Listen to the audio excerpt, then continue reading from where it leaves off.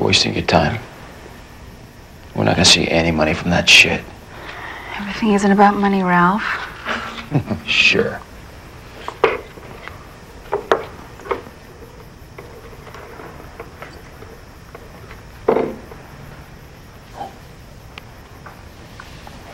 I stopped by the store this morning.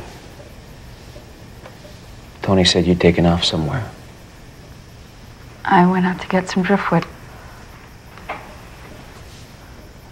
I want you to quit working. Come to bed. I won't be much longer. I said I was sorry about last night. You can't just turn me on and off like a switch, Ralph. I know you're sorry, but you really hurt me. I'll be up soon, I promise.